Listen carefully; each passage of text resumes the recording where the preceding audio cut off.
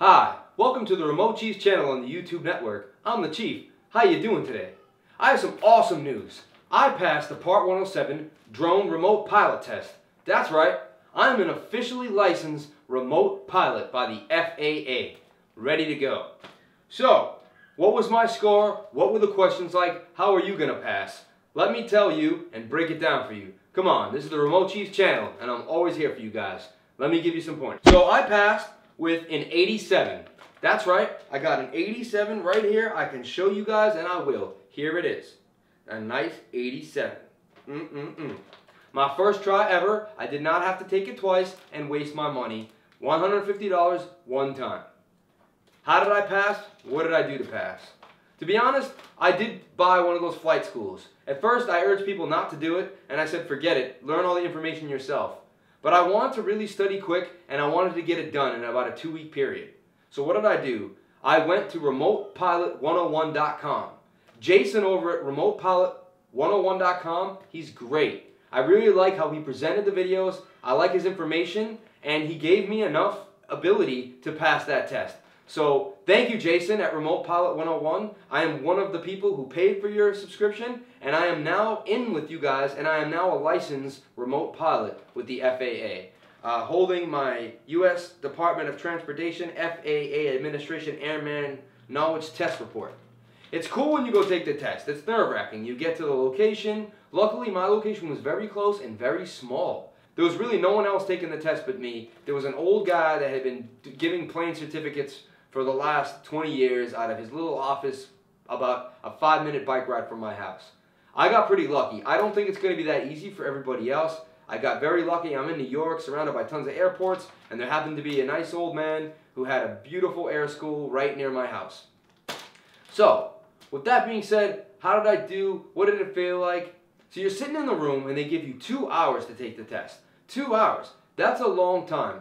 But there's 63 questions. I was told by a lot of people there would be 60 questions. That is wrong. There are 63 questions. Maybe other people will get more or less. I'm not sure. I got 63 questions. I was happy about that because there was about nine that I was unsure about. I'm telling you, nine questions I was unsure about. I got nine wrong. I got an 87 on the test, so they said I got about nine questions wrong. What were the questions like? I tried to remember as much as I could to tell you guys. I tried to really look at some of the questions and keep them in my mind so you could later on have that knowledge. You're definitely going to have to know longitude and latitude. That's pretty simple. They're going to tell you to count and basically each quadrant inside of a map on an, you know, on any aeronautical map, that's going to be 30 minutes up and down. And then the whole quadrant is going to be the 60 minutes. So you count 30 up and down. It's pretty simple. And then when they, when basically you can see from each number, 100 all the way to 101 is 60 minutes. They put a line in the middle with no number. That's going to be the 30 minute line. Basically, they're going to give you two coordinates. 101, blah, blah, blah, at 43 minutes, 48 at 28 minutes. And you're going to have to just count the minutes and see what airport they're talking about. Sometimes they're going to talk about something you should know about the map. Basically, they're going to tell you what is the height elevation of the tower, the lighted tower. And there's going to be three towers there, and you're going to have to know the one with like little lines on the top means it's lighted. And then you're going to see the numbers next to it. You're going to have to know AGL and MSL. That's big on the test because they'll ask you questions and they'll ask for the answer in MSL, but they'll give you the answer in AGL. And if you're getting them confused or you think you have it right and then you switch back, you're actually going to get the question wrong, even if you may actually know the answer. That sucks, so don't do that. Trust me. Uh, here's one question I remember verbatim, exactly as it was written. It said, when can a remote pilot fly at 10,000 feet MSL? And at first you would say, I can't fly at 10,000 feet, that's so high, it's class A airspace, and I'm up there with Boeings, and, but no, the question said MSL, above sea level. And, you know, I skipped it at first. I can't believe I skipped it. That's ridiculous. But I did because it just kind of I was like, hmm. And I went on to the other ones. I got back to it, and then it hit me. When I had more clarity, I said, ah, I can fly at 10,000 feet MSL anytime I want, as long as I'm in Class G airspace. And that was the answer, as long as you're in Class G airspace. I mean, this, you know, and you stay below 400 feet. Like, that's, The key is you're up at that elevation already. You can fly at that. It's above ground level. You can only go 400 feet above ground level, but you can go even higher. You know, if you're at already at 10,000 feet above sea level, then you're actually flying at, you know, 10,400 feet. That's your limit if you're at a 10,000 feet medium sea level. So that's important. Get those two things figured out. Don't get them confused. Don't lose the easy questions. Like, these are the ones you really want, and they're right there for you. Don't mess those questions up. Okay, what else do we have on the test that I can remember? Uh, a few questions about alcohol. My question was, you're a pilot going to inspect a pipeline tomorrow morning. You don't, you stay up late and drink anyway. You wake up in the morning still feeling a little hungover. A, what do you do? You know, or what do you do? A, you take some coffee and caffeine and get through the day. You know, B, you do an over-the-counter drug to stay stimulated. Or C, you cancel the shoot knowing that you were already still impaired from the night before. And the answer is C, you cancel the shoot. You know, you do the safest thing. All those answers, you see the safest question. How long does it take for alcohol to get out of your system? It, three hours per each a, a shot, a glass of wine, or a beer. It takes three hours. They're going to ask that question three hours. I had about four questions talking about alcohol and the content you could have or if you could fly with that or not. One strange questions I, I kept getting were about positioning of weight on an airplane. They were never, and the answer literally said inside of a glider or inside of like an, an airplane. They never asked me questions about a drone. And that's in the aeronautical handbook. You can find that information. It's in there. And it says uh, where to position things forward and aft because usually the wings are further up. They're not completely in the center if you look at a plane. So then the center of gravity is, is you know, a little different because it gets narrow. Basically, you have to learn where the center of gravity is best, how it, and what affects the, the load. If you put load further back, how it's going to affect the plane. I didn't study that stuff heavily, and to be honest, they gave me about three questions of that type. And they literally, the questions kept saying, in a plane, you know, in a, in a loaded plane. And I was, man, like, I'm not here to load planes. I'm here to fly drones. But they wanted me to understand that. Um, something else you should know is there's a chart. It's in the aeronautical handbook. There's a chart, and it basically shows the g-force per the degree of angles. And it basically is like at 30 degrees, at 45, at 50. And basically, as the, as the angle changes, you're going to actually create a higher g-force, and the load will feel heavier on the drone. And basically what you do is there's a number, and you can see the number, you times it by like 1.58. Basically, as it goes up, each degree has a different number on the left. So 45 degrees with 1.58, you know? So they're going to give you a load, 35 pounds. How much is that going to be affected at 45 degrees? And what you do is you times the 35 pounds by the 1.58 on the map. I got that question. I got it right. I got that question. So you're going to have to know that little map and the loads. One thing about Remote Pilot 101, it was great. It had a lot of answers, but it's not going to give you every single thing. He tells you, even while he's telling you, you know, bone up on that handbook. Read a little bit of this. He says, you know, it's all here, but they're throwing so many questions at so many people. I don't know if anyone even got the same test. Maybe everyone got these crazy, strange questions. I don't know. I got some really strange questions. About half the test, I did have to use a magnifying glass, and use the diagram. They give you a big book though, an 86 page book. And you know what? Some answers are in that book. I'm telling you right now, if you don't know everything, but you studied a little bit and you know that book, because if you studied on Remote Pilot 101, he lets you go to these diagrams over and over again, and eventually you're like, oh, that's where these came from. Another thing you're going to need to know, you do have a, a resource, and it has information in it.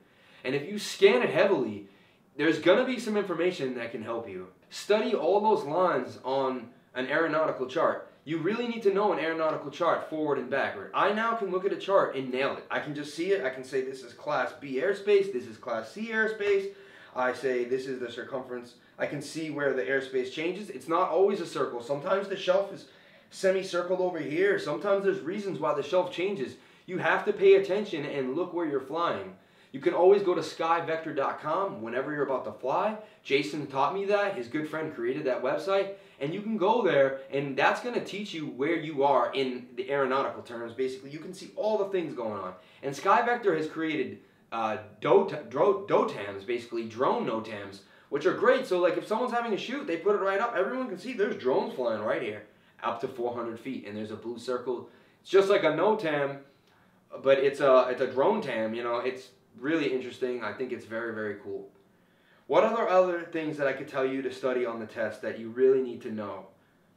You need to know how to read a METAR forward and backward, straight up. Just you need to know all of the different things: rain, fog, light rain, heavy rain, some rain, if that's there, clearly visible. This is a huge one. What's the definition of a ceiling? The lowest broken or overcast cloud level. That's the definition of a ceiling. And that's kind of a trick question in a way because they'll read you a METAR and they'll say 1100 OVC, you know, and then it will say from because then you have to know your TAFs too. You have to know METARs that show longer periods of time. So basically you have to understand that it's going to change. Like it's going to be a METAR that gives you more information. And it's basically going to say from 1100 to that day or these days, and it's going to keep giving you times. You're going to have to know when these things are going to change. Basically, you can say, okay, it's going to be overcast from 1100, and then and then it's going to be overcast at 800 feet. So that's going to, what's the difference? The, the ceiling's going to change by 300 feet. So they're going to make you read through the METAR, and then the question's going to say, how much did the, how much did the ceiling change from 1100 to 1800 Zulu time? And you're going to say, what? How, how can I know that? They, there's no, where's the ceiling? You're going to have to know already that the definition of a ceiling is the lowest broken or overcast cloud level. So then you're going to go to 1100 and when you first see OVC at that time period, you're going to see that and you're going to write down that number in your mind or, or you know, know that 1100. Then you're going to keep going until you see OVC again or BKN. They might put BKN and not OVC and now you're going to have to know that that's still the ceiling. It can be actually pretty frustrating this test and this getting this information down because it's not you can understand oh i know the definition of a ceiling like and then they could ask you that question you could nail it. But what they try to do is make you take multiple definitions that you know and then throw you for a loop with a question. So what you're going to have to do is know things already and then use that stuff that you know to answer the question. And, and about half the test is i'm not going to say they're trick questions but they're worded in such a strange way that they make you have to think about what you know and question if you do know it already, even though you do know it. it, it the test can get you going. I'm someone who studies meticulously, put a lot, usually get high grades. I only got an 87. I mean, I know it's a good good score, but I didn't nail it. Like there was still nine questions out there that remain up in the air for me. And another thing I don't like is how they give you what you got wrong. They really just outline what you got wrong, like PLT 040, and you can go research that, and it gives you the area that you, but it doesn't give you the actual question you got wrong. You can never figure out like the exact question you got wrong. I would have liked that because then I could have gone back and been like, oh, that's the exact question I got wrong. I'm trying to think of anything else I can tell you guys to help you study for this test. Know your METARs. Don't play games with not knowing a METAR. It'll take you basically a week to keep coming at them every hour. You know, spend an hour a night here and there. Within a week, you'll know all your METARs. It's not that serious. At the beginning, it looks like a lot of information that's just too much. It's not. If you go to remotepilot101.com, I'm telling you I did it. People are going to make, oh, you paid. Yes, I paid. Whatever. I paid the money. I went there, and you know why I paid the money? Because it gave me structure. I could go from front to back all the way down, and I felt confident that I was going to pass the test. I felt like someone who had their license, who had been flying. He's not just a drone pilot, Jason. He's been flying and doing licensing in schools for pilots for years. This isn't just something he started doing. He threw on the drone pilot school on top of something he already offers. So he knows what he's doing. His videos played properly. The server worked right. Everything was awesome. It was in HD, clear. The audio was amazing. He wore a different shirt every time. You know, it was great. So if you guys really want to get your license, I would say go to remotepilot101.com. And if you don't want to pay the $100, don't, there's other ways. I have another video here in the description that's going to show you, and there's many other videos of people telling you the free way to do it. This is how I did it. I passed the test, I got the 87, and I am now a licensed drone pilot. It feels great to do this because so many people talking this and that. We're now licensed by the FAA. We have that government stamp. And you know what? It feels pretty cool to have a license. Hard copy. I still don't have my hard copy yet. They're working on getting me mine. They said they're about on January 11th now or 12th, and I took mine on the 26th. So it takes the office, they go through about two days every day. So hopefully in about 10 to 12 more days, I'm going to have my hard copy in the mail. I can't wait to show you guys. I think it's going to be super awesome to walk around in my wallet and have a drone pilot license in there. Uh, I want to do one last bonus question that I knew was on the test just to keep you guys here the whole time. There's one last bonus question that I knew was on the test. And what is it? What is the one last bonus question that I know is on the test? One other thing I want to tell you guys that you're going to have to know is you're going to have to know restricted areas. The difference between an MOA, a military operation area, and restricted areas, when restricted areas are fully restricted, what a prohibited area is, and when you cannot go in one and go in the other, how to read them on the chart. Some are blue, some aren't. It's intense. So make sure you study that too because there's going to be there's going to be some trick questions on that. I got a trick question on that. It basically gave me the longitude and latitude. It said you're doing a shoot at this longitude and that latitude. So I had to go. So I had to know that just to get to the coordinates. That was one part of the question. I had to know that to get to the place. I get to the place and it says, is it, is it safe to fly here? Number one, it was a wildlife refuge, which would scare you to think, you know, you can't fly there. But national parks are off limits, but that does not mean wildlife refuge. And that can get hairy too. So it, it throws you off. Now you're like, oh God, I can't fly a, a wildlife refuge, you know. But they really wanted to understand if you could read the difference between a restricted area and an MOA, and if you could read the longitude and latitude. So I read the longitude and latitude. I got to the proper place.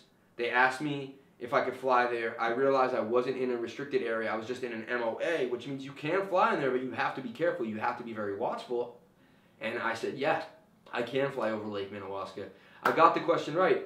So I just want you guys to understand that it is a complex test and there's a lot to it. So that's it. I don't know how many more gems I could give you. I don't want to make this video too long, but I told you what you could do to pass. If you go to remotepilot101.com, you're going to pass. Basically, take that full-on course that he gives you and do an outline while you do it. Don't just listen to the videos. Actually type an outline while you do it. The first three days before the test, just keep going over that outline that you created over and over again. Also, watch a bunch of videos of people like me telling you what was on the test. Everyone got a different test.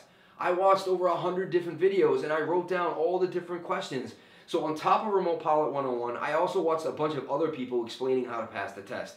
There's so many more people passing now, so there's more and more videos out every day. Thank you guys so much for watching. Please feel free to comment, like, and subscribe. Please join the tribe and subscribe. The Chief abides. I hope you guys passed your test, and I really appreciate you staying here with the Chief and learning some info. Have a great day.